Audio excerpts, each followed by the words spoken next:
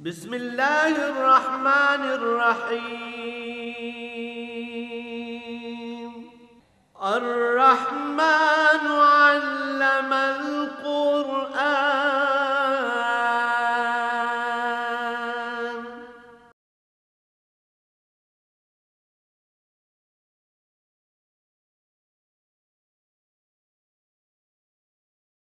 الحمد لله رب العالمين. والصلاة والسلام على حبيبه محمد وآله وصحبه أجمعين. أعوذ بالله من الشيطان الرجيم. بسم الله الرحمن الرحيم. يا أيها الذين آمنوا لا تدخلوا بيوت النبي إلا أن يؤذن لكم إلى طعام غير ناظرين إناه. ولكن إذا دعيتم فادخلوا فإذا طعمتم فانتشروا ولا مستانسين لحديث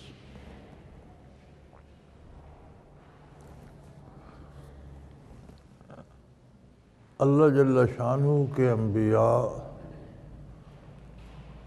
اور ان سے ہدایت پانے والے لوگوں کا تعلق اور رشتہ بہت نازک ہوتا ہے۔ تمام برکات امت کو انبیاء علیہ الصلاۃ والسلام سے اور قلوب انبیاء سے پہنچتی ہیں اور اس کے لیے برکات حاصل والے، حاصل کرنے والے کے قلب کو بھی حاضر اور متوجہ ہونا ضروری ہے۔ اب اس میں سب سے نازک بات یہ ہے کہ جسے برکات حاصل کرنی ہے، جسے فیض حاصل کرنا ہے، اس کی کوئی حرکت ایسی نہ ہو جس سے فیض دینے والے کے دل میں کوئی قدورت آ جائے۔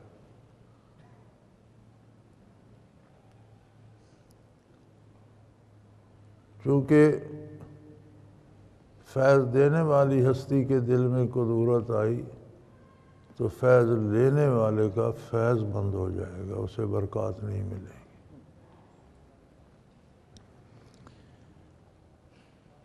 صحابہ کرام رضوان اللہ علیہ مجمعین حضور اکرم صلی اللہ علیہ وسلم کے سچے عاشق تھے۔ اور دنیا میں اگر کسی نے محبت کی ہے تو صحابہ کرام نے حضور نبی کریم صلی اللہ علیہ وسلم سے محبت کی۔ اس کی مثال تاریخ عالم میں کہیں نہیں ملتی۔ تو ہر ایک کا دل چاہتا تھا کہ ہمہ وقت یہ محبوب ہستی میری نگاہوں میں رہے۔ ہمہ وقت دیکھا کروں، آپ کے ارشادات سنا کروں۔ عجیب عجیب واقعات ملتے ہیں۔ ایک صحابی کو عشاء کے بعد ان کا بچہ آتا تھا، مسجد سے ہاتھ پکڑ کے گھر لے جاتا تھا اور سیری کو پھر مسجد چھوڑنے آتا تھا۔ باقی سارا دن ٹھیک ٹھاک کام کرتے تھے۔ تو کسی نے پوچھا کہ کہ عشاء کے بعد آپ کی نظر بند ہو جاتی ہے یا کیا وجہ ہے؟ پھر رات صبح بھی بچہ چھوڑنے آتے ہیں پھر دن بھر آپ کام کرتے ہیں۔ تو انہوں نے فرمایا میں چاہتا ہوں کہ جب دن ختم ہو تو سب سے آخری جس ہستی کو میری نظر دیکھے وہ اللہ کے رسول ہوں۔ اور جب حضور عشاء کے بعد حجر مبارک میں تشریف لے جاتے ہیں تو میں آنکھ بند کر لیتا ہوں۔ اور صبح بچہ مجھے مسجد میں چھوڑ جاتا ہے۔ جب حضور حجر مبارک سے مسجد میں جلوہ افروز ہوتے ہیں تو میں آنکھ کھولتا ہوں۔ تو میری پہلی نگاہ بھی حضور پہ پڑتی۔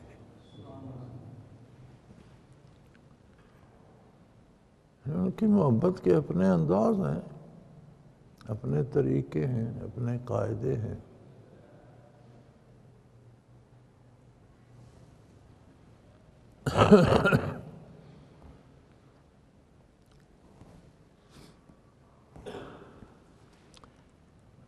تو ان کا دل چاہتا تھا کہ ہمہ وقت نگاہیں، حضور کے رخ انور کا طواف کرتی رہیں، لیکن اللہ نے فرمایا کہ کوئی ایسی بات نہیں ہونی چاہیے جو قلب اثر پہ ناگوار گزرے۔ اے ایمان والو،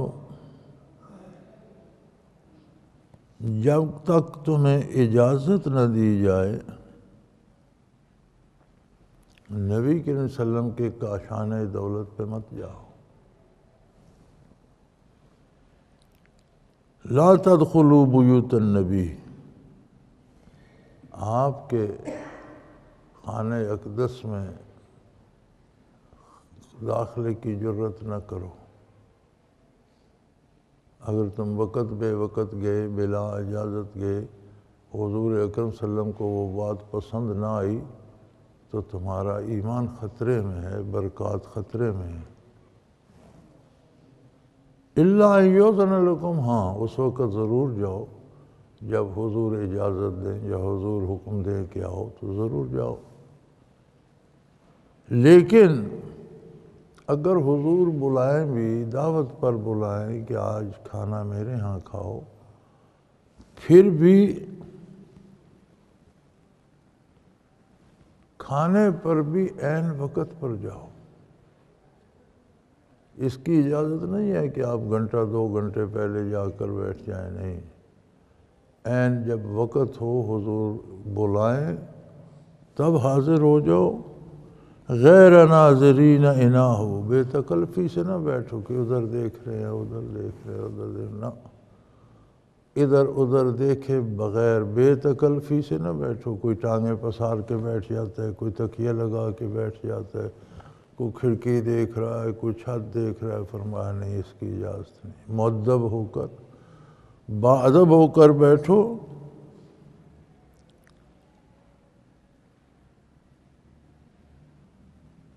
اور ولیکن ازادوی تم فد خلو اور جاؤ بھی اس وقت جب تمہیں ارشاد فرمایا جائے کہ اب آ جاؤ۔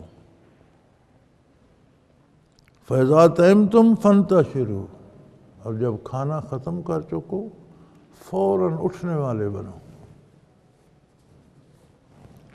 اس بات پہ بھی مت بیٹھے رہو کہ چلو تھوڑی دیر گپ شپ ہو جائے، حضور کے ارشادات سنتے ہیں، تھوڑی دیر رخ انور کی زیارت کرتے ہیں۔ فرمایا نہیں۔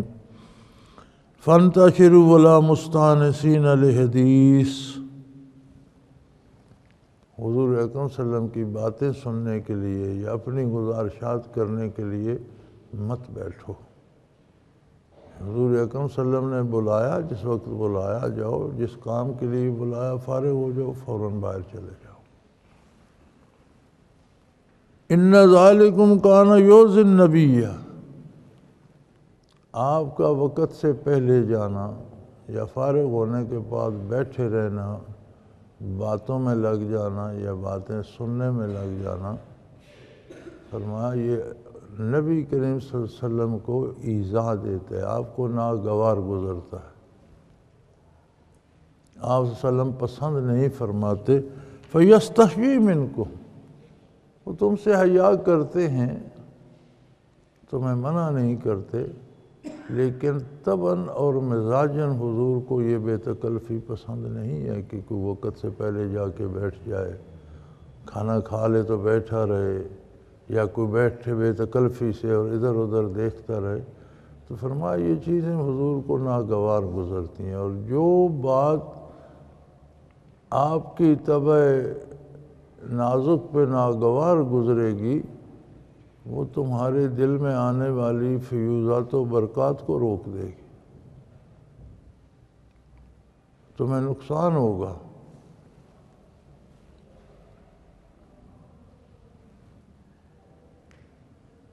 واللہ یا یستخی من الحق، اللہ کریم حق بیان کرنے میں کوئی تکلف نہیں کرتے۔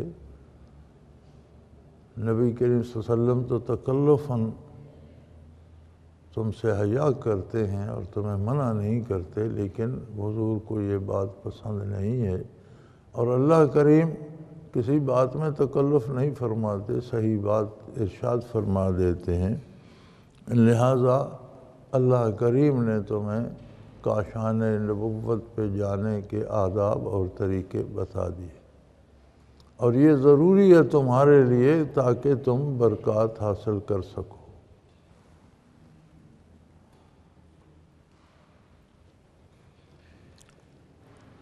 ویزا سال تم اوہ متان فص من وراء حجاب اور اگر ازواج متحرات میں سے آپ نے کوئی بات پوچھنی ہو، کوئی چیز مانگنی ہو، کوئی بات کرنی ہو فص من وراء حجاب تو پردے کے پیچھے سے اپنی گزارشات پیش کرو بے تکلف ہو کر رو برو جا کر بات نہیں کرو، ادب سے بات کرو، نیچی آواز میں بات کرو اور پردے سے پیچھے ہو کر بات کرو۔ ظالکم اطہر القلوبکم و قلوب یہ بات تمہارے دلوں کے لیے بہت پاکیزہ ہے۔ اور دلوں کو پاک رکھنے کا عمدہ سبب ہے۔ اور ازواج متحرات کی قلوب کو بھی۔ گد سے بچانے کا سبب ہے۔ یعنی یہ سارے آداب جو ہیں بارگاہ رسالت میں حاضری کے بیٹھنے کے انداز، فارغ ہونے کے بعد چلے جانے کا سلیقہ، ازواج متحرات سے نہایت ادب سے پردے کے پیچھے سے دھیمی آواز میں بات کی جائے۔ یہ سب کس لیے ہے ات ہر تمہارے دلوں کو صاف اور پاک رکھنے کے لیے۔ تو یہاں سمجھ لیجیے کہ جب بھی حضور کے قلب اثر پہ کسی شخص کے بارے اس کی کسی کام کی وجہ سے، اس کی کسی بات کی وجہ سے ناگواری آئے گی تو اس کا بہت زیادہ نقصان ہو۔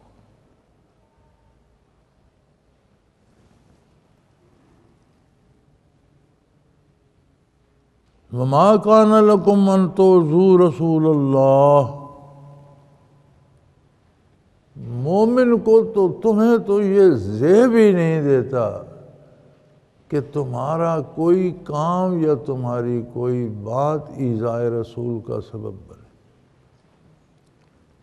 تمہارا کوئی کام نبی کریم صلی اللہ علیہ وسلم کو ناگوار گزرے، یا تم کوئی ایسی بات کرو جو نبی کریم صلی اللہ علیہ وسلم کو ناگوار گزرے، تو پھر تم مومن کیسے ہو؟ پھر تم مسلمان کیسے ہو تم؟ مومن کو تو یہ زیب نہیں دیتا۔ بڑی بڑی تکلیفیں دیں، کفار نے بڑے بڑے تانے دیے۔ معاذ اللہ، گالیاں تک بکتے تھے۔ نام مبارک بگاڑ دیتے تھے۔ جو بن پڑا انہوں نے کیا، انہیں اللہ نے کوئی آیت نہیں اتاری کہ ایسا نہ کرو۔ اس لیے کہ وہ ہاں ان کے حق میں بہت آیات آئیں کہ یہ ان کا انجام جہنم ہے، ان کو وہ عذاب ہوگا، یہ ذلیل ہوں گے، یہ دنیا میں بھی ذلیل ہوں گے، آخرت میں بھی ذلیل ہوں گے۔ عذاب کی بات ہوتی رہی، لیکن انہیں روکا تو نہیں، اللہ نے کہ ایسا نہ کرو۔ مومن کا چونکہ رشتہ ایمان ہے ذات اقدس رسول اللہ صلی اللہ علیہ وسلم سے، اور اس نے قلب اطور سے اطہر سے انوارات لینے ہیں، برکات لینی ہے انوارات و برکات میں کوئی ذرا سا سایہ بھی آ جائے، روشنی کے آگے تھوڑا سا ایسے ہاتھ بھی کر دے تو اس کا بھی سایہ چہرے پہ پڑتا ہے۔ چھوٹی سی بات بھی ہو جائے تو ایک حد تک اس میں رکاوٹ بنتی ہے۔ آگے کوئی شیشہ بھی کھڑا کر دے تو اس کی وہ تاب نہیں رہتی جو براہ راست آ رہی ہوتی۔ تو مومن سے اللہ کا تعلق بھی رحمت و بخشش کا کرم کا ہے، تو یہ احسان فروایا مومنین پر کہ انہیں بارگاہ رسالت میں حاضری کے آداب سکھا دیے۔ ازواج متحرات کی بارگاہ میں گزارشات کے آداب سکھا دیے۔ اور فرمایا، یہ ضروری ہے کہ تمہارے قلوب پاک رہیں۔ اطہر القلوب تمہارے دلوں کو پاک رکھنے کا سبب ہے۔ اور پھر تمہیں بحثیت مسلمان یہ زیب ہی نہیں دیتا کہ تم نبی کریم صلی اللہ علیہ وسلم کو ایزا لو۔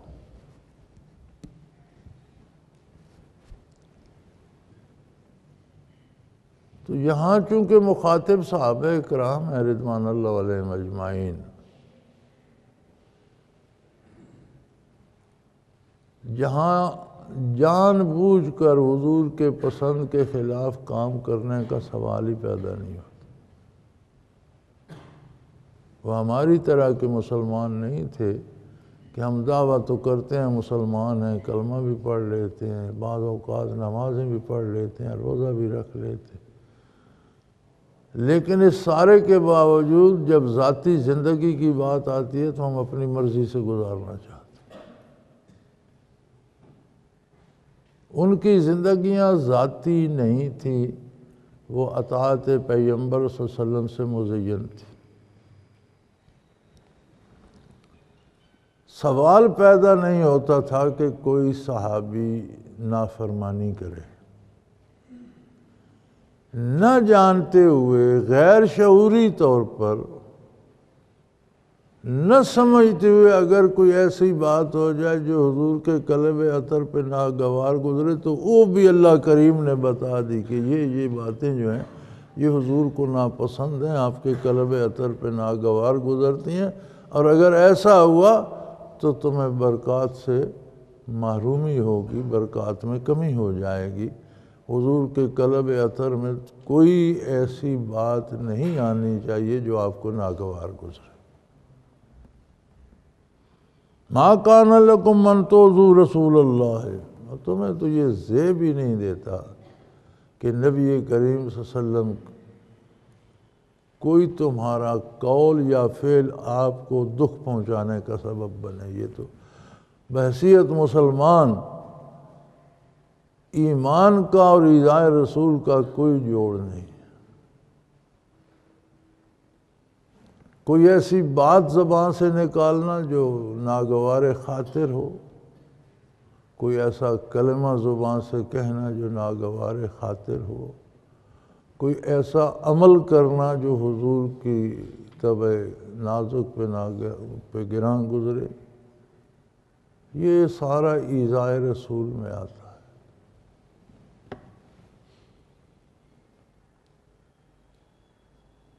آپ کی ذات یا آپ کی ازواج، یہاں ساتھ ازواج متحرات کا ذکر خیر ہے کہ ان کے ساتھ بھی وہی ادب کا معاملہ کرو جو حضور اکم صلی اللہ علیہ وسلم کو پسند آئے۔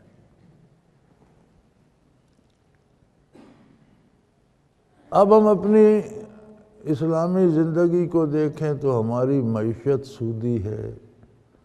ہمارا کردار پتہ نہیں کیا ہے، ہمیں خود بھی پتہ نہیں ہوتا کہ ہم کس کے ساتھ کیا سلوک کر رہے ہیں۔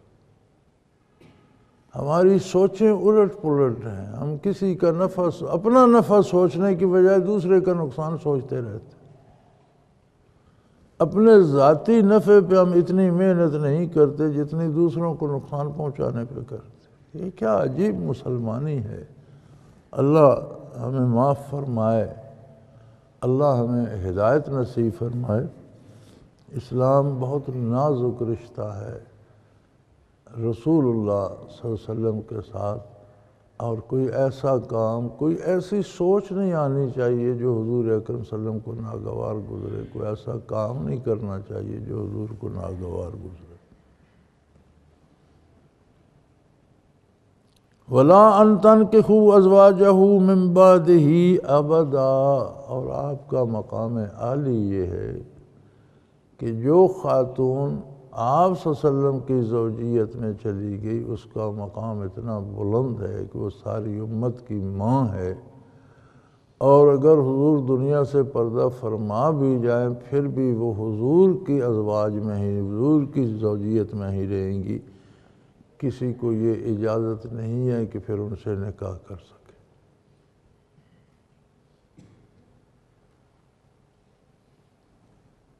عام مومن کی طرح نہیں کہ میاں فوت ہو گئے، چار مہینے، دس دن، چار مہینے، دس دن فارغ ہو گئے، نہیں۔ وہاں نہ عدت ہے، نہ موت ہے، نہ موت کا وہ عالم ہے، نہ عدت ہے، نہ وہ حکام ہے۔ بلکہ جو آپ صلی اللہ علیہ وسلم کے عقد میں آ گئیں وہ المومنین بن گئیں۔ وہ ہمیشہ کے لیے مومنوں کی مائیں ہیں وہ محات المومنین ہیں اور ان کی وہ عظمت بحال ہے۔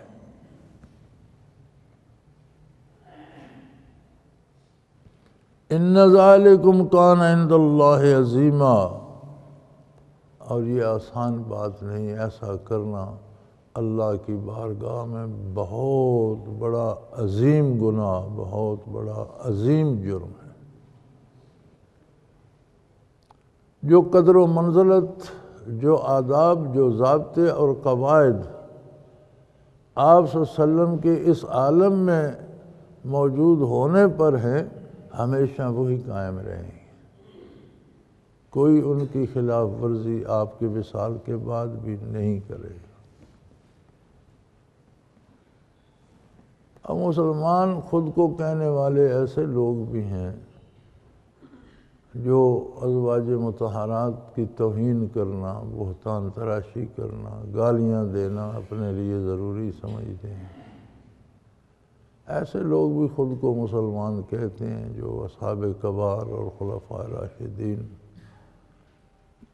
کی توہین کرتے ہیں یا گستاخیاں کرتے ہیں۔ تو ان سب کو سوچنا چاہیے کہ وہ کتنی نازک بارگاہ ہے۔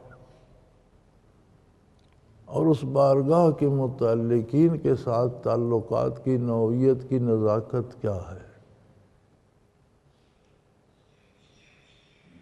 عمل کی بنیاد ایمان ہوتا ہے۔ اللہ کریم ہے۔ اللہ نے نیکی تو کافر کی بھی ضائع نہیں کی۔ لیکن کافر اللہ کے حکم یا نبی کے حکم سے نیکی نہیں کرتا۔ اپنے مزاجن کرتا ہے، چلو کوئی نیک کام بھی ہو گیا۔ کسی نے سڑک بنا دی، کنویں میں یہاں تالاب کئی ہندو بنوا دیتے تھے، اسپتال لاہور میں بڑے بڑے مشہور اسپتال اب بھی ہندوؤں کے نام پر ہیں۔ گلاب دیوی اسپتال، گنگا رام اسپتال۔ تو بڑی مخلوق کو ابھی تک فائدہ ہو رہا ہے۔ اللہ کریم ان کی نیکی بھی ضائع نہیں کرتے۔ چونکہ ان کا اللہ پر، رسول پر، آخرت پر ایمان نہیں تھا۔ جب آخرت کو کوئی مانتے نہیں تو آخرت کے لیے نیکی کیوں کرے گا؟ تو وہ نیکیاں بھی دنیا ہی کے لیے کرتے تھے۔ شہرت ہوگی یا پیسے آ جائیں گے یا میرا بڑا نام ہوگا، تو اللہ کریم ان کی نیکی کا بدلہ انہیں دنیا میں دے دیتے ہیں۔ اور قرآن کریم بتاتا ہے کہ آخرت میں جب جائیں گے تو اللہ فرمائے گا تم نے جو بھلے کام کیے تھے ان کا بدلہ تو دنیا میں لے لیا، اب یہاں بھگتو، یہاں کے لیے تو تم لائے کچھ نہیں ہو۔ تو اگر کافر کی نیکی بھی ضائع نہیں ہوتی تو مومن کی کیوں ہوگی؟ لیکن نیکی تب ہوتی ہے جب ایمان سلامت رہے۔ اللہ پر، کتاب پر، فرشتوں پر، آخرت پر، حساب کتاب پر، اللہ کے نبی پر۔ ضروریات دین پر ایمان سلامت رہے۔ اور اگر خدا نہ خواستہ ایسی کوئی گستاخی سرزد ہو گئی بارگاہ رسالت میں، جس سے حضور اکرم صلی اللہ علیہ وسلم کے قلب اتھر پہ ناگواری آ گئی، تو ایمان جاتا رہا تو پھر نیکی کا ہو۔ اعمال کی قیمت ختم ہو گئی۔ جو کر چکے وہ ضائع ہو جاتی ہیں، آئندہ کرنے کی توفیق ہی نہیں ہوتی۔ یہ ہمیں خود اس بات سے بھی اندازہ کر لینا چاہیے کہ ایک بندہ نوافل پڑھتا تھا تجد پڑھتا تھا، وابین پڑھتا تھا۔ کوئی مرض ہو گیا، الگ بات ہے۔ بلا عذر شرعی اس سے چھوٹ گئے تو اسے سوچنا چاہیے کہ کیا ہوا، کیوں چھوٹ کوئی بر وقت نمازیں ادا کرتا تھا اور ان میں کوتاہی ہونے لگی، کبھی جماعت سے رہ گئے، کبھی دیر سے پڑی اسے سوچنا چاہیے کہ کیوں، کیا گڑبڑ ہو گئی، کہیں کچھ مجھ سے کچھ ہوا ہے؟ اور اگر نہیں سمجھ آئے، نادانستہ طور پر ہوگا تو بھی توبہ کرے، رجوع اللہ اللہ کرے، اللہ سے معافی مانگے اور اپنی اس صورت کو بحال کرے۔ ورنہ یہ بھی ہوتا ہے کہ تلاوت چھوٹ جاتی ہے، نمازیں چھوٹ جاتی ہیں۔ اچھے بھلے نمازی نمازیں چھوڑ دیتے ہیں۔ پھر آگے جاتے جاتے جاتے پھر سود کھانے تک اور آرام کھانے تک نوبت چلی جاتی ہے۔ تو کسی بھی نیکی کا چھوٹ جانا ہمارے کسی گناہ کی سزا ہوتی ہے۔ اور نیکی ملتی ہے اتباع رسالت سے اتباع ہوتا ہے عقیدت اور ادب سے۔ وہاں اگر کوئی بال آ گیا تو یہ ساری چیزیں ضائع ہو جاتی۔ لہذا اللہ کریم نے بارگاہ رسالت کا، خانہ اقدس کا، ازواج متحرات کا بلند مقام بتاتے ہوئے یہ بتایا کہ کوئی ایسی بات سوچو بھی نہیں جو خلاف مزاج ہو۔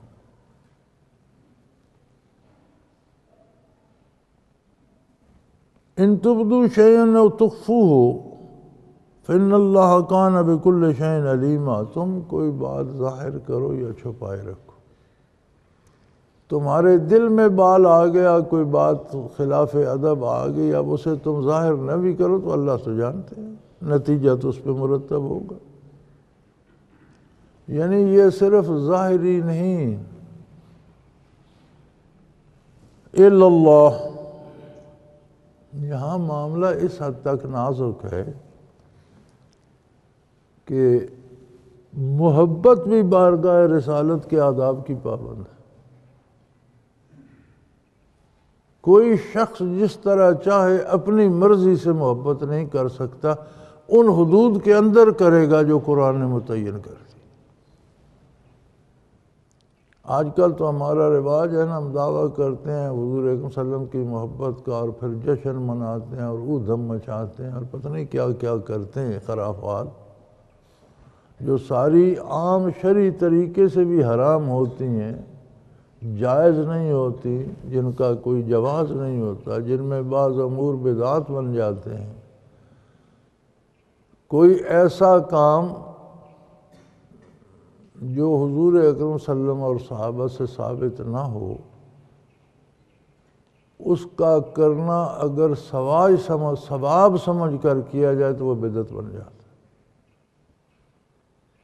زندگی کا کوئی بھی کام، اس وہ زمانہ اور تھا، اس زمانے کا لباس اپنا تھا، رہائش اپنی تھی، خوراک اپنی تھی، غذا اپنی تھی، وہ ناشتے اور یہ دوپہر اور عصر اور کہاں تھے وہاں تو آٹھ پیر میں بھی کسی کو ملتا تھا، کسی کو نہیں۔ یہ کھجوریں کھا لی دودھ پی لیا۔ یہ آج کل کے کھانے، یہ آج کل کے لباس کہاں تھے؟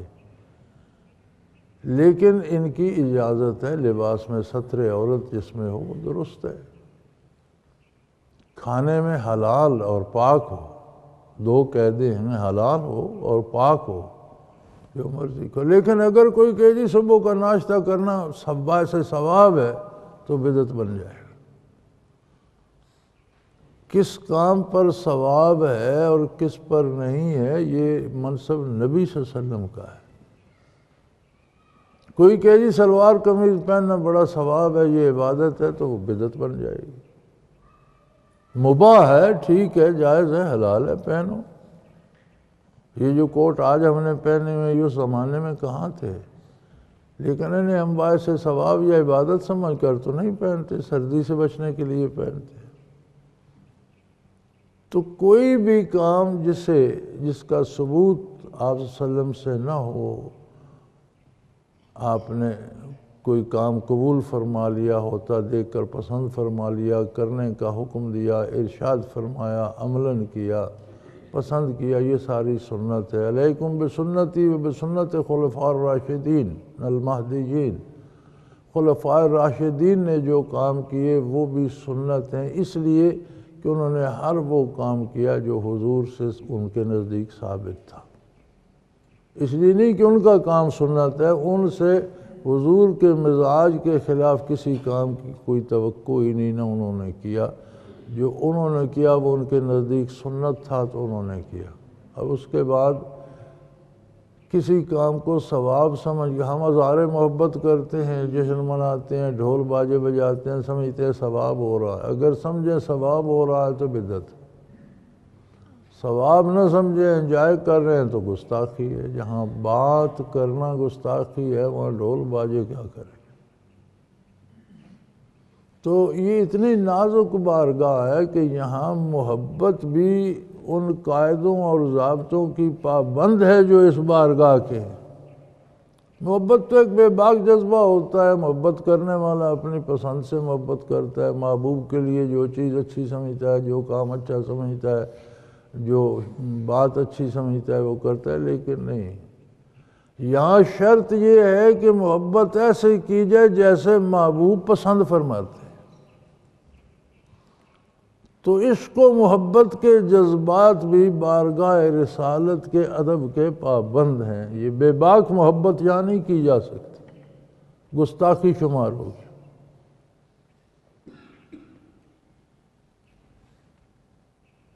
لا جناح علیہن فی آبائہن ولا ابنائہن ولا اخوانہن ولا ابناء اخوانہن ولا ابناء اخواتہن ولا نسائہن ولا ملکت ایمانہن۔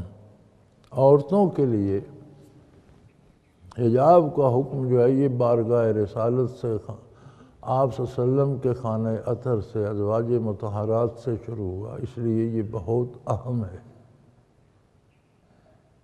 آج کل تو ہم ہو گئے ہیں نا، ذرا آزاد منش مسلمان، ہم کہتے ہیں جی پردہ دل کا ہوتا ہے۔ کیا ہمارے دل ان ہستیوں سے زیادہ منور، زیادہ پاکیزہ اور زیادہ روشن ہے جب ازواج متحرات کو حکم دیا جا رہا ہے تو پھر نیچے کون ہے جو اس منصب کو پہنچے؟ ہاں فرمایا، عورتوں کے لیے اپنے باپوں کے سامنے کوئی پردہ نہیں۔ اپنے بیٹوں کے سامنے کوئی پردہ نہیں، اپنے بھائیوں کے سامنے کوئی پردہ نہیں، اور بھتیجوں کے سامنے کوئی پردہ نہیں، بہنوں کے سامنے کوئی پردہ نہیں بھانجوں کے سامنے کوئی پردہ نہیں۔ یعنی جہاں خاتون بے پردہ مل سکتی ہے، باپ، بیٹا، بھائی، بہن، بھتیجے، بھانجے خاندان کے جو قریبی افراد ہیں، ان میں کوئی حجاب، کوئی پردہ نہیں ہے۔ ولا نسائہن اور اپنی جیسی عورتوں سے بھی کوئی پردہ نہیں۔ پردہ دار عورت کا، پردہ دار عورت سے کوئی پردہ نہیں۔ اس کا مطلب ہے کہ پردہ دار عورت کا بے پردہ عورت سے بھی پردہ ہے۔ جو عورت پردہ نہیں کرتی پردہ دار عورتوں کو اس عورت سے بھی پردہ کرنا چاہیے، چونکہ قرآن کہتے ہیں ولا نسائہن ایسی خواتین جو ان جیسی ہیں، جو پردہ کرتی ہیں، ان سے ان کا کوئی پردہ، اس کا مطلب ہے جو پردہ نہیں کرتی، ان سے پردہ ہوگا۔ وما ملکت ایمانہن اور ان کی کنیزیں جو ہیں، باندیاں جو ہیں، ان کے گھروں میں کام کرتی ہیں۔ ان سے کوئی پردہ نہیں۔ وَتَّقِينَ اللہ اور اس معاملے میں اللہ سے ڈرتی رہو۔ یہ بنیاد ہے تقوی کی۔ تقوی ہے کیا؟ اللہ کریم سے ایسا تعلق کہ بات کرتے وقت، کام کرتے وقت فوراً دل میں آئے کہ کوئی ایسا نہ ہو جائے جس سے اللہ کریم ناراض ہو۔ یہ جو تعلق ہے، یہ تقوی کہلاتا اور فرمایا، یہ بے پردگی تقوی کے خلاف ہے۔ اس لیے اللہ سے تقوی کرو اور یہ یاد رکھو، تم اللہ سے چھپ کر کچھ نہیں کرتے۔ جو کچھ کرتے ہو اللہ کریم کے سامنے ہے۔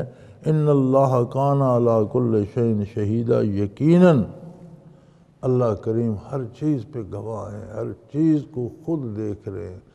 اللہ کے فرشتے لکھ رہے ہیں کرامن کاتبین لکھ رہے ہیں آزاؤ جوارے گوائیاں دیں گے، گوشت، ہڈیاں، کھال گوائیاں دیں اس کے باوجود اللہ براہ راست خود بھی ملازہ فرما رہے ہیں، ہر چیز پہ خود شاہد ہیں۔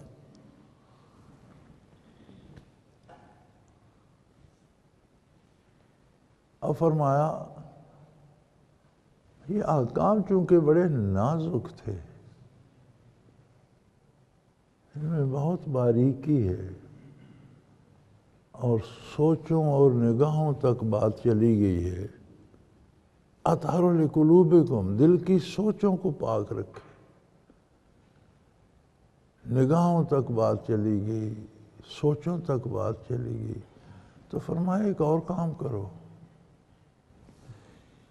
ان اللہ و ملائکتہ یصلون علی النبی۔ ایک ایسا کام ہے جو اللہ کی بارگاہ سے ہمیشہ ہو رہا ہے، ہمیشہ ہوتا رہے گا، اور وہ ہے اللہ کے نبی صلی اللہ علیہ وسلم پر رحمتوں کا، برکات کا نزول۔ ان اللہ و ملائکتہ اللہ کی بارگاہ سے بھی یسلون علی النبی، رحمت مسلسل نازل ہو رہی ہے آقا نامدار پر۔ کوئی لمحہ، کوئی آن اس بات سے خالی نہیں ہے کہ مسلسل برکات الہیہ رحمت نے الہیہ اللہ کی کرم، اللہ کی برکات، اللہ کی رحمتیں حضور پر نازل ہو رہی ہیں۔ وہ ملائکتہ یصلون علی اور اللہ کے فرشتے ہمہ وقت دعا گو رہتے ہیں کہ اے اللہ حضور کی ذات والا صفات پر رحمت نازل فرما۔ اللہ کا درود کیا ہے؟ اللہ جل شانہ کا درود یہ ہے کہ اللہ مسلسل رحمت نازل فرما رہا ہے۔ درود کا معنی ہے جو کام مسلسل کیا جائے، در یا درو سے آئیے۔ جس کام میں انقطاع نہ آئے، جو کام ہوتا ہی رہے، چلتا ہی رہے، کہیں رکے نہیں، کہیں اس میں نرمی نہ آئے۔ تو فرمایا، اللہ کی بارگاہ سے اس کی رحمت مسلسل نازل ہو رہی ہے حضور اکرم صلی اللہ علیہ وسلم پر۔ اللہ کے فرشتے مقربین بارگاہ جو ہیں، وہ بھی ہمیشہ ہمہ وقت حضور پر نزول رحمت کی دعا کر رہے ہیں۔ تو مومنو، تمہیں حکم یہ ہے کہ تم اس میں شامل ہو جاؤ۔ یا الذین آمنوا، اے ایمان والو، صلو علیہ وسلم تسلیما، آپ پر درود بھی بھیجو یعنی مسلسل دعا کرو نزول رحمت کی وسلم اور آپ پر سلام بھی بھیجو۔ السلام علیکہ یا رسول اللہ، وسلم علیکہ وعلیکہ یا حبیب اللہ۔ ہمارے ہاں اب ایک بات پہ بڑا جھگڑا ہوتا ہے۔ کہ جی السلام والسلام علیکہ، یا رسول اللہ، پڑھا جائے یا نہ پڑھا جائے۔ بھائی، ضرور پڑھو، لیکن اس کے بھی انداز ہیں۔ اگر کوئی روز اطر پہ حاضری جس کو نصیب ہوتی ہے، وہاں تو یہ درود پڑھنا ضروری ہے، بے شک پڑھو۔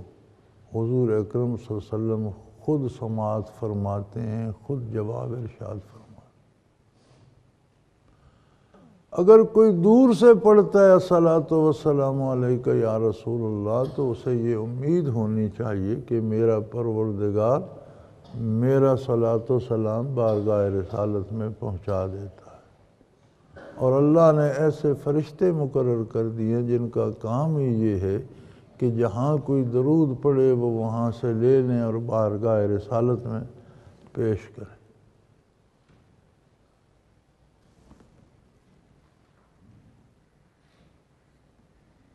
لیکن آپ جب دور سے پڑھتے ہیں تو حدیث شریف میں بہت سے درود مبارک ایسے ہیں جو خود نبی کے وسلم نے ارشاد فرمائے ہیں۔ ان میں سے کوئی سا بھی پڑھے۔ مسنون درودوں میں جو درود ابراہیمی ہے، جو نماز میں پڑھا جاتا ہے، وہ بھی بہت بہتر ہے۔ بہت اچھا ہے تبھی نماز کا حصہ بنایا حضور اکم صلی اللہ علیہ وسلم اور بہت سے درود ملتے ہیں جو لوگوں نے عقیدت میں آ کر نعتیہ طور پر لکھے۔ ٹھیک ہوں گے، اچھے ہوں گے، لیکن ان کا مقابلہ تو نہیں کر سکتے جو حدیث میں ہیں، جو حضور نے خود فرمائے کہ یہ پڑھا کرو۔ اور علماء حق فرماتے ہیں کہ کوئی بھی دعا بارگاہ الوحیت میں کرتے ہو تو اس کے پہلے بھی درود شریف پڑھو، اس کے آخر بھی درود شریف پڑھو۔ چونکہ درود وہ دعا ہے جو ہمیشہ قبول ہوتی ہے، ہو رہی ہے، اس پر عمل ہو رہا ہے۔ ہم دعا مانگتے ہیں کہ اس کی برکات میں سے ہمیں بھی مل جائے، ہمارا بھی دل صاف ہو جائے۔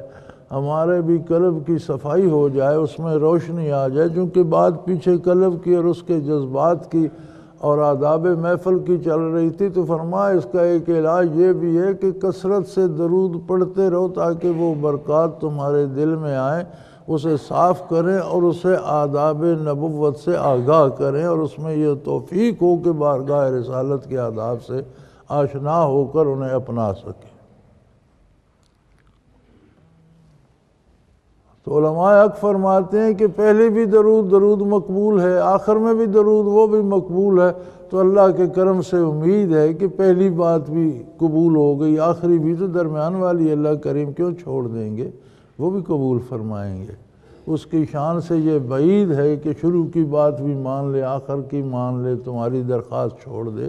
تو قبولیت دعا کا یہ بھی ایک مجرب نسخہ ہے آزما کیا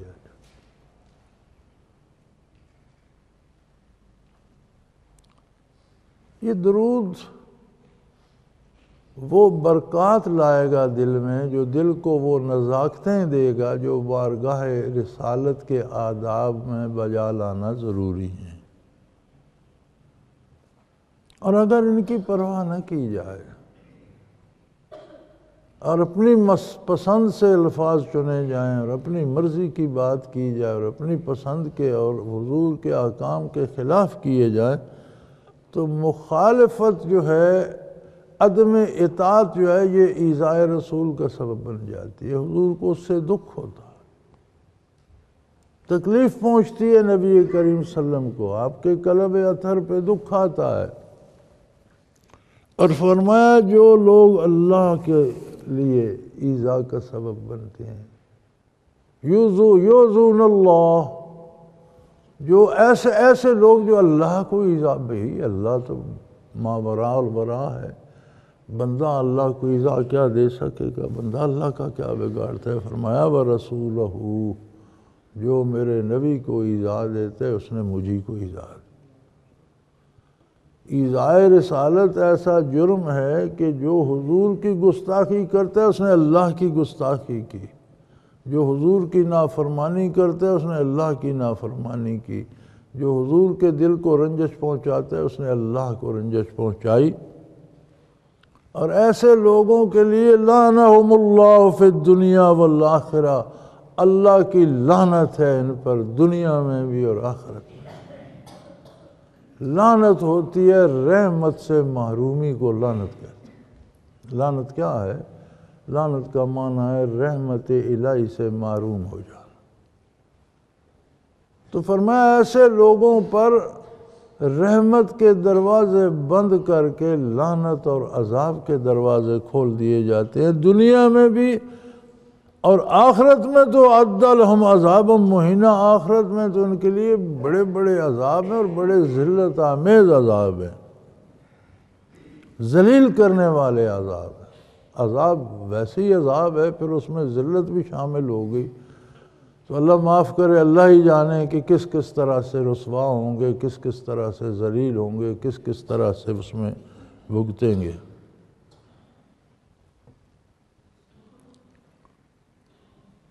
اور جو اللہ اللہ کے رسول کی اطاعت کرنے والے، اللہ کے ایماندار بندے، مرد اور عورتیں ہیں والذین یوزون المومنین والمومنات بغیر مکتسب فقد تملو بہتانم و اسم مبینہ جو لوگ اللہ کے بندوں، مردوں اور عورتوں کو، مسلمان مرد، مسلمان عورتوں کو ایزا دیتے ہیں، بہتان تراشی کر کے، جو گناہ انہوں نے نہیں کیا، ان کے ذمہ الزام لگا کر، ان کے خلاف جھوٹی باتیں گھڑ کے جو کرتے ہیں۔ تو یہ بہت بڑا بہتان ہے اور بہتان کی سزا بہت سخت ہے۔ شکوہ کرنا گلا کرنا جسے غیبت کہتے ہیں، انسان ہے، اگر اس سے کوئی غلطی ہو بھی گئی تو آپ اس کی پیٹھ کے پیچھے لوگوں اس کے سامنے بیان کرتے ہیں تو یہ غیبت ہے۔ بندے سے غلطی ہوئی لیکن آپ ہر محفل میں وہ بیان کرتے رہتے ہیں تو یہ غیبت ہے اور غیبت کی سزا بھی بڑی سخت ہے۔ لیکن اگر اس نے وہ غلطی کی ہی نہیں اور آپ سنی سنائی بات آگے کیے جا رہے ہیں تو یہ بہتان ہے اور بہتان کی سزا غیبت سے بھی زیادہ ہے۔ تو فرمایا مسلمان مردوں اور مسلمان عورتوں کی بھی ایک حرمت ہے۔ ان کی بھی آبرو ہے، ان کی بھی عزت ہے۔ اللہ کے نزدیک ان کا بھی مقام ہے۔ تو بلا وجہ ان کے شکوے، شکایتیں یا بلا وجہ ان کے خلاف باتوں کا تو مارنا باندھا جائے اگر اس ایک قرآن کے اس ایک حکم پر ہم عمل کر لیں تو ہمارے نبے فیصد گھروں کے جھگڑے ختم ہو جائیں۔ جھگڑا ہی اس بات پہ ہوتا ہے، فلاں نے میرے خلاف فلاں جگہ یہ بات کہی، فلاں نے مجھے بتایا، وہ یہ کہہ رہا تھا۔ نبے فیصد جھگڑے فیصد جھگڑے یہاں سے شروع ہوتے ہیں۔ اور جب یہ کرنا حرام ہے تو مومن چھوڑ کیوں نہ دے؟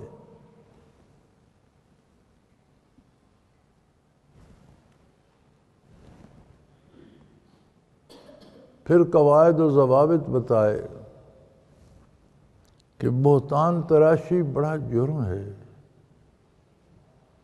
کسی کے پیچھے اس کے ایسی بات کا تذکرہ کرنا جو جرم اس نے کیا ہے، وہ غیبت ہے۔ اگر وہ اس نے جرم کیا تو آپ اس کے روبرو کہیں۔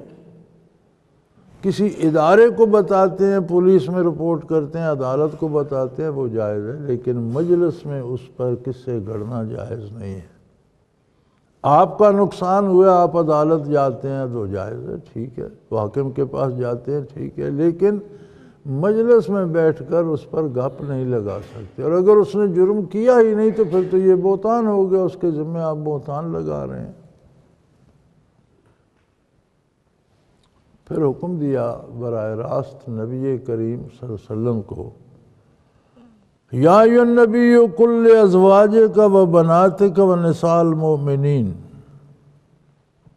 اے میرے نبی صلی اللہ علیہ وسلم اپنی ازواج متحرات کو حکم دیجیے، فرما دیجیے۔ اپنی بیٹیوں کو فرما دیجیے۔ اور مسلمانوں، مسلمان خواتین کو فرما دیجیے۔ ازواج متحرات جمع کا آیا کثرت کی وجہ سے۔ بنات آپ کی بیٹیوں کا بھی جمع کا سیغہ ہے۔ عربی میں دو جمع نہیں ہوتے۔ ایک واحد ہوتا ہے، دو تسنیہ ہوتے ہیں۔ دو سے زائد ہوں، تین، چار، پانچ تو وہ جمع ہوتے ہیں۔ پھر دو سے زائد بھی جمع قلت اور کثرت ہوتی ہے عربی میں۔ دو سے زائد میں بھی جمع میں پھر فرق ہے۔ جمع قلت ہے، جمع کثرت ہے۔ جمع قلت نو تک ہوتی ہے۔ دس ہو جائیں یا اس سے زیادہ تو اسے جمع کثرت کہتے ہیں۔ لیکن دو سے زائد جمع شروع ہوتی ہے، دو تک واحد اور تسمیہ، ایک اور دو، تین چار ہوں تو پھر جمع تین، چار، پانچ، چھ، سات، آٹھ، نو تک جمع ہے۔ نو سے اوپر جمع کثرت ہے، یہ نو تک جمع قلت ہے۔ تو آپ وسلم کی دختران مبارک چار تھیں، اس لیے جمع کا سیغہ یہاں استعمال ہوا۔ کل ازواج کا و بنات آپ اپنی ازواج متحرات کو بھی یہ حکم دیجیے اور اپنی بیٹیوں کو بھی فرما دیجیے۔ و نسال مومنین اور مومنوں کی عورتوں سے سب سے یہ کہہ دیجیے، یدنین علیہن من جلابی بہن باہر نکلیں۔ تو کھلی سی چادر لے لیں جس سے بدن ڈھپ جائے۔ بدن کے نشیب و فراز بھی نظر نہ آئے۔ زیور اور زیب زینت اور بناؤ سنگار جو عورت کا حق ہے وہ باہر نظر نہیں آنا چاہیے۔ اور یدنین علیہن من جلابی بہن وہ چادر کرنے کے وجہ سے پیشانی سے کھینچ کر منہ پر پردہ کر لیں یہ شرعی پردہ ہے اور یہ فرض ہے ہر مسلمان عورت کے لیے۔ ظاہل قادنا یو رفنا اور یہ اس بات کے قریب تر ہے کہ پتہ چلتا رہے کہ یہ خاتون مسلمان ہے، اس کا تعلق اسلام سے ہے۔ ولا، فلا یو زین اور کوئی اسے ایزا نہ دے، کوئی اس سے چھیڑ چھاڑ نہ کرے، کوئی اس پر تان نہ کرے، کوئی اسے نہ چھیڑے۔ ایک با پردہ مسلمان عورت ہونی چاہیے وقان اللہ غفور الرحیم چھوٹی موٹی غلطیاں، کوتاہیاں ہو جانا اللہ کریم معاف کرنے والے ہیں۔ یہاں خواتین کا پردہ اللہ کریم نے ازواج متحرات بناتے رسول اللہ علیہ وسلم آپ کے گھر سے شروع کر کے عام مومن تک ایک ہی جملے میں حکم دیا۔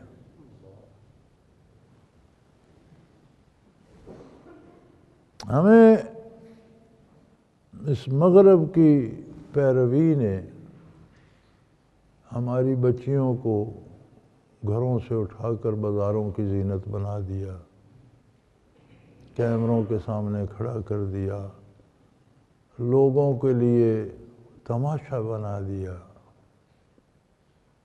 لیکن کیا ہم نے کبھی سوچا ہے کہ مغرب میں جہاں عورت کا پردہ نہیں ہے، وہ عورت کہاں پہنچی؟ اور اہل مغرب کا کیا حشر ہے؟ مشرق بعید میں بھی جن اقوام میں عورت کا کوئی پردہ اور حجاب نہیں ہے، ان کے حالات کیا ہیں؟ وہ کہاں پہنچ چکی اور خود یہاں، ہمارے ہاں بھی پردہ نہ ہونے کی وجہ سے کیا کیا گل کھلائے جاتے ہیں اور کیا کیا تماشے بنتے ہیں۔ یاد رکھیں، اسلام کا کوئی حکم زندگی کو مشکل بنانے کے لیے نہیں ہے، بلکہ زندگی کو آسان بنانے کے لیے۔ شریعت زندگی کو سہل بناتی ہے، مشکل نہیں بناتی۔ اگرچہ آج کل تو ہم کہتے ہیں شریعت پر عمل کرنا مشکل ہے شریعت کی مخالفت مشکل ہے۔ ہر وہ کام جو خلاف شریعت کیا جاتا ہے، وہ کرنا مشکل ہے۔ اس پر تو تو کار بھی ہوتی ہے، سزائیں بھی ملتی ہیں، تکلیف بھی ہوتی ہے۔ اللہ کریم نے نگاہوں کو بچانے کا حکم دیا، عورتوں کو بھی یکغضن من ابصارہن، اپنی نگاہیں بچا کے رکھیں، نیچی رکھیں۔ مردوں کو بھی حکم دیا، نگاہ کی حفاظت کرو۔ آج کا سائنسدان کہتا ہے کہ دل کے جو جذبات جنس کے ہوتے ہیں، مرد کو عورت سے رغبت ہوتی ہے یا عورت کو مرد کے جو جن سے مخالف کے لیے جذبات ہوتے ہیں، یہ دل سے آنکھوں کے راستے باہر آتے ہیں۔ یہ دل سے نگاہوں میں منتقل ہوتے ہیں۔ پھر ہر نگاہ اور ہر دل کے جذبات کی ایک فریکوینسی ہوتی ہے۔ جیسے آپ کے ریڈیو ٹیلی ویژن پہ جو چیزیں آتی ہیں تو ان کی فریکوینسیاں مقرر ہیں نا۔ اسی طرح جو دل سے شعائیں نکلتی ہیں، ریز نکلتی ہیں اور نگاہوں سے آگے جاتی ہیں، ان کی بھی فریکوینسی ہے۔ جس عورت، جس مرد کی جتنی فریکوینسی قریب ہو اتنے وہ ایک دوسرے کے لیے بےتاب ہو جاتے ہیں اور جس کی بالکل ایک جیسی ہو وہ ہیر رانجے جی یا سسی پنو بن جاتے ہیں۔ اگر یہ فریکوینسی ایک جیسی بھی ہو اور وہ حجاب کریں، پردہ کریں، مرد بے تکلف عورت کو نہ دیکھے، عورت بغیر پردے کے مرد کو نہ دیکھے، پردے میں رہے، تو یہ سارا خطرہ ہی ٹل جاتا ساری مصیبت، جدید سائنس بھی اس بات پہ متفق ہے کہ آبرو کے لیے پھر کوئی خطرہ نہیں رہتا۔ اس وقت تو یہ سائنسی تحقیق نہیں تھی، لیکن اللہ دلوں کے بھید جانتے ہیں، اللہ نے اپنے نبی صلی اللہ علیہ وسلم کو حکم دیا۔ اور شروع فرمایا، ازواج متحرات سے، خود خانہ رسول سے، پھر آپ کی بیٹیوں کو حکم دیا اور پھر مومن مردوں کی مومن خواتین کو حکم دیا کہ پردہ اس طرح سے رکھیں کہ جہاں پردہ کرنا ہے وہاں ایس باہر نکلیں تو ایسی چادر لے لیں جس میں بدن نظر نہ آئے، پھیلی ہوئی چادر ہو، پورے بدن کا پردہ ہو جائے۔ پیر جھٹک کر نہ چلیں کہ کوئی پازیب پہنی ہوئی ہے تو اس کی آواز آئے، زیور کی نمائش نہ کریں، زیور نہ دکھائیں۔ اور نگاہوں پر بھی پردہ کو ید لینا علیہن من جلابی بہن، چادر کو ماتھے سے پیشانی سے کھینچ کر اپنی نگاہوں کا بھی پردہ کر لے۔ اور مردوں کو بھی حکم ہے کہ غیر عورت کی طرف نگاہ اٹھا کر نہ دیکھیں۔ تو غز بصر وہ علاج ہے کہ جہاں نگاہیں ٹکرائیں گی ہی نہیں، تو خرابی کا اندیشہ پیدا نہیں ہوگا۔ اور مسلمان عورت کی شناخت ہونی چاہیے۔ پتہ چلے گی یہ مسلمان۔ یہ کہاں کی مسلمانی ہے؟ نہ حجاب ہے، نہ پردہ ہے، نہ شرم ہے، نہ حیا ہے۔ بال کھلے ہیں، گھٹنوں تک ٹانگیں بھی ننگی ہیں، بازو بھی ننگے ہیں۔ یہ کیا کیا، کون سی مسلمانی ہے؟ مسلمان مرد کو بھی مردوں میں نظر آنا چاہیے، یہ مسلمان ہے۔ آج کل ہماری تصویریں عیسائیوں کے ساتھ، ہندوؤں کے ساتھ، غیر ملکی اکابرین کے ساتھ آتی ہیں، ہندوستان آتے جائے ہندوؤں کے ساتھ۔ کوئی نیچے نام لکھ دے تو پتہ چلتا ہے یہ مسلمان ہے ورنہ کوئی پتہ نہیں چلتا ہندو کون ہے، مسلمان۔ مسلمان کی اپنی شناخت ہونی چاہیے، تعارف ہونا پتہ لگے، دیکھیں تو پتہ چلے مسلمان ہے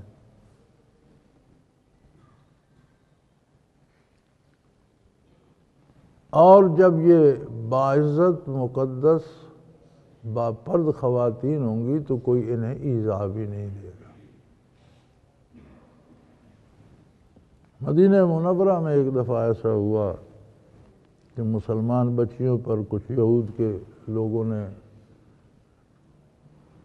باتیں کی، کوئی آوازیں کسے، اور جب وہ مسلمانوں کو علم ہوا تو ان کو تنبیہ کی گئی تو انہوں نے یہ عذر کیا جی بھئی ہمیں کیا پتہ، یہ خواتین آپ کی ہیں، جیسی ہماری ہیں، ویسی وہ بھی پھر رہی تھیں، تو ہم نے سمجھا ہماری اپنی ہیں۔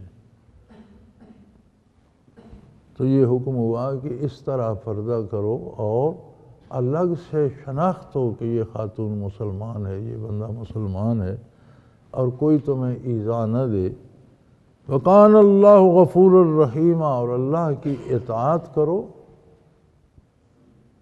اپنی پوری کوشش کرو، پھر کمی رہ جائے تو اللہ معاف کرنے والے بھی ہیں، رحم فرمانے والے لیکن تم کرنا ہی چھوڑ دو تو یہ بات درست نہیں۔ اپنی پوری کوشش کرو۔ پھر اگر کوئی کمی رہ جاتی ہے، جذباتی طور پر خیالات میں کمی رہ گئی، تعامل میں، عمل میں کمی رہ گئی تو اللہ معاف کرنے والے اور رحم فرمانے والے۔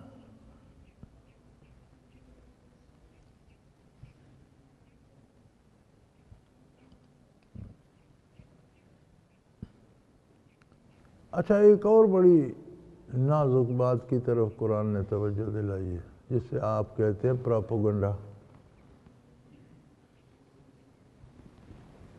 فوج کے کالم بنتے تھے نا، first column, second column, third column, fourth column. یہ چار کالم ہوتے تھے فوج کے جنگ میں، کہ ایک حملہ کرے گا، دوسرا دائیں طرف سے آئے گا، تیسرا بائیں سے آئے گا، چوتھا پیچھے محفوظ رہے گا۔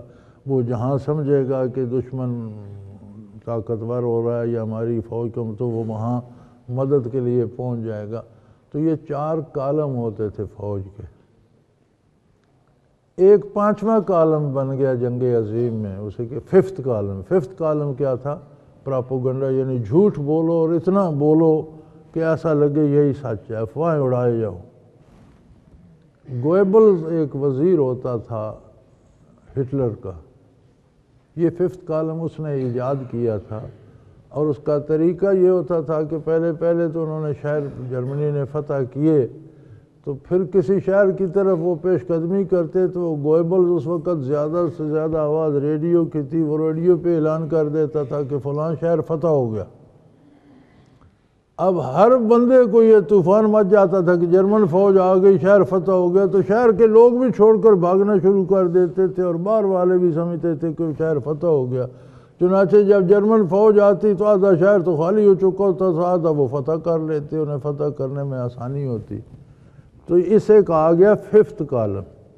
اور وہ گویبل کہا کرتا تھا کہ اتنا جھوٹ بولو اور مسلسل بولو کہ اگلا اسے سچ سمجھنے لگے۔ تو مدینہ منورہ میں ریاست مدینہ کے ساتھ بھی یہ ففتھ کالم استعمال کیا گیا۔ آپ کی حکومت کے خلاف بھی، مدینہ منورہ کی ریاست کے خلاف بھی۔ منافقین خبریں اڑا دیتے تھے جو فلاں قبیلہ آج حملہ کر رہا ہے۔ جی مشرقین ادھر سے آ رہے ہیں جی فلاں چیز پر حملہ کر دیں گے۔ بات کچھ نہیں ہوتی تھی، صرف پریشان کرنے کے لیے تو فرمایا وَلَئِلَّمْ يَنْتَهِ الْمُنَافِقُونَ وَالَّذِينَ فِي قُلُوبِهِمْ مَرَضٌ وَالْمُرْجَفُونَ فِي فِي الْمَدِينَةِ لَنُغْرِيَنَّكَ بِهِمْ ثُمَّ لَا يُبَارُونَكَ فِيهَا إِلَّا قَلِيلًا۔ اگر یہ منافقین اور جن کے دلوں میں مرض ہیں، جن کے دل گل سڑ چکے ہیں، جن کے دلوں میں اسلام کے خلاف نفرت بھری ہوئی ہے، جن کے دلوں میں اسلام کے خلاف بغض بھرا ہوا ہے۔ اور یہ جو گپیں اڑاتے ہیں مدینہ منورہ میں اور پریشان کرتے ہیں لوگوں کو اور رسول اللہ علیہ وسلم کو بھی، تو ان کے دل تباہ ہو چکے ہیں، ان کے دلوں میں مرض ہے، لیکن انہیں رک جانا چاہیے۔ اگر یہ باز نہیں آئیں گے تو پھر یہ یہاں کم ہی رہ سکیں، پھر یہ آپ کے پڑوس میں نہیں رہ سکیں گے۔ سم اللہ یجاورون کفیہ اللہ کے پھر چند روز ہی ہیں، پھر یہ یہاں نہیں رہ سکیں گے۔ اور پھر وہی ہوا، بنی قریضہ پر حملہ ہوا، اس کے لوگ قتل ہوئے۔ دوسرا قبیلہ جو تھا، اسے مدینہ منورہ سے نکلنا پڑا، دیش نکالا اور مدینہ منورہ کو خالی کر کے یہ یہودی اور منافقین چلے گئے۔ اور جو مسلمانوں کے خلاف پراپگنڈا کرتے تھے۔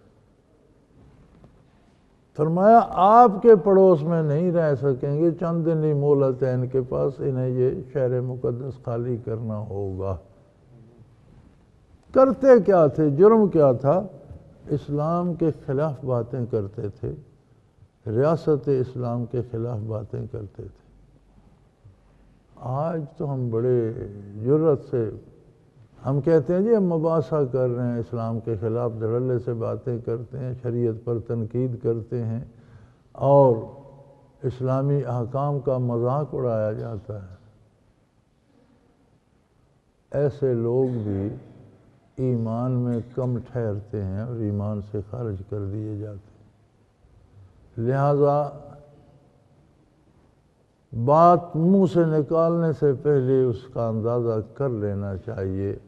اللہ اللہ کے رسول کی مخالفت مول نہیں لینی چاہیے اور جو احکام شریعت کے ان کا مذاق نہ اڑایا جائے۔ اس بات سے اجتناب کیا جائے۔ خود عمل نہیں کر سکتا۔ تو اللہ سے توفیق عمل مانگے جو کر رہے ہیں۔ یہاں تو ایک محاورہ دیکھے ہوئے ہیں جی داڑیوں والے بھی، ہم جانتے ہیں، نمازیوں کو بھی۔ مذاق اڑایا جاتا ہے۔ چلو، ہم داڑھی والے بھی خراب ہوں گے۔ ہم نمازی بھی اچھے لوگ نہیں ہوں گے، لیکن ہماری ذات کی بات اور ہے اور ہماری داڑھی اور نماز یہ ارکان اسلام ہے۔ ان کا مذاق نہ اڑایا جائے، ورنہ عذاب الہی کی گرفت آ جاتی ہے۔ آپ کے پڑوس میں کم ہی رہیں گے، ملعونین، پھٹکارے ہوئے، ان پر اللہ کی لہنت برسے گی۔ اینما سکفو خزو و قتلو تقتیلا۔ جہاں بھی پائے گئے ذلیل ہوں گے، اللہ کی لعنت ہوگی ان پر، یا اسلامی افواج کے ہتھے چڑھیں گے اور یہ قتل کیے جائیں گے، تباہ ہو جائیں گے، ان کی دنیا بھی جاتی رہے گی اور آخرت بھی جاتی رہے گی۔ سنت اللہ فی الذین خلو من قبل، یہ اللہ کی عادت ہے۔ ان کو تاریخ کا مطالعہ کرنا چاہیے۔ ان کو دیکھنا چاہیے کہ پہلے ادیان میں، پہلے انبیاء کی جن لوگوں نے مذاق اڑائے اور دین کا مذاق اڑایا، ان کا کیا عشر ہوا؟ ان کے ساتھ کیا ہوا؟ یہ عادت الہی ہے۔ دین کو نہ ماننا، اسے اختیار ہے نہ مانے، اپنی طبی عمر پوری کرے، مرے گا تو اللہ کریم حساب لے لیں۔ دین کا مذاق اڑانا فرمایا عمر تبھی پوری نہیں کر سکو گے، اس سے پہلے تم پر گرفت آ جائے گی لانت برسے گی، اللہ کا عذاب آ جائے گا۔ اور اللہ کے طریقہ کار میں کوئی تبدیلی نہیں ہوتی۔ تم پہلی امتوں کے انجام دیکھ لو، جنہوں نے انبیاء کا مذاق اڑایا، کتابوں کا مذاق اڑایا، اللہ کے دین کا مذاق اڑایا، ان کا انجام کیا ہوگا؟ اگر تم اڑاؤ گے تو وہی انجام تمہارا بھی ہوگا۔ آخر دعوانا ان الحمد للہ رب العالمین. اللہ اللہ اللہ اللہ اللہ اللہ اللہ اللہ حضرت امیر محمد اکرم آوان مد ذلہ العالی دارالعرفان منارہ ضلع چکوال میں سالہ سال سے قرآن و حدیث کے اوپر خطابات کر رہے ہیں اور سلسلہ نقش بندیہ اویسیہ کے مطابق لوگوں کو ذکر الہی کی تربیت دے رہے ہیں۔ وہ قرآن پاک کی تفسیر ترتیب وار بیان کر رہے ہیں۔ تفسیر قرآن کو وہ موجودہ ملکی اور بین الاقوامی حالات کے مطابق بیان کرتے ہیں۔ موٹر وے سے کلر کہار کے انٹرچینج سے نکلتے ہوئے، کلر کہار کی جھیل سے ہوتے ہوئے میانی، بوچھال اور نور پور سے گزرتے ہوئے دارالعرفان منارہ پہنچ سکتے ہیں۔ حضرت امیر محمد اکرم آوان نے بچیوں اور بچوں کی دینی اور دنیاوی تعلیم کے لیے سقارہ اکیڈمی کے نام سے ایک درسگاہ بھی قائم کی ہے، جس کا افتتاح ملک پاکستان کے صدر جنرل محمد ضیاء الحق نے اپنے دست مبارک سے کیا تھا۔ وہ تمام احباب جو اسلام کی طلب رکھتے ہیں، ان سے گزارش ہے کہ دارالعرفان منارہ ضلع چکوال میں امیر محمد اکرم آبان صاحب کے خطابات سے مستفید ہوں۔ وہ ہر جمعے کو نماز سے پہلے بیان فرماتے ہیں۔ ہر ماہ کی پہلی اتوار کو ماہانہ اجتماع ہوتا ہے، جس میں آپ خصوصی خطاب فرماتے ہیں۔ اور پاکستان کے چاروں صوبوں سے احباب اس اجتماع میں شرکت کرتے ہیں۔ اس کے علاوہ، یہاں سال میں دو مرکزی اجتماعات بھی ہوتے ہیں، ایک رمضان المبارک میں اعتکاف کا اجتماع اور دوسرا جولائی اور اگست میں چالیس دن کا اجتماع ہوتا ہے، جس میں روحانی تربیت کی جاتی ہے۔ اپنا خون سیماب دے کر اتنا ہم کر جائیں گے، نام آقا کا چمن میں پھر رقم کر جائیں گے۔